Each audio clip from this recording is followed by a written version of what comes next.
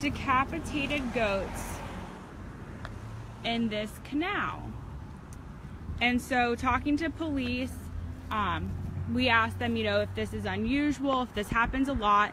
Now, we are learning that some um, avid hunters in the area might dump things, and it is still illegal. It's considered illegal dumping, whether it's goats or any kind of other animal but they said unless they catch someone in the act it's really hard um, to know who did this. But we did have a neighbor reach out to us over the weekend about this and talking to people um, riding their bikes by and also walking along here um, today. They said the smell is unbearable which it is. We've also reached out to um, 311 which typically works with um, cases just like this and illegal dumping here. I'm gonna you can see it again while i talk but basically, they have contacted Waste Pro, who says they will be out here in the next 24 hours to remove these carcasses. But basically, talking to some neighbors in the area, they say they have recently had troubles um, and problems with coyotes in the area.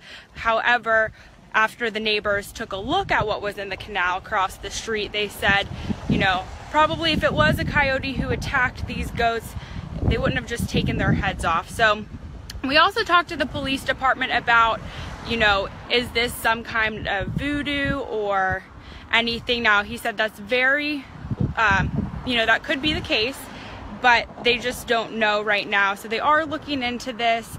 And again, you another. Now, the smell is definitely very strong but you can see you know this is the canal here off of Beach Parkway and Surfside here in Cape Coral there's homes just across the street. A lot of people riding their bikes and walking on the sidewalk near here. We've talked to neighbors, we've gotten their reactions, we've talked to the police, and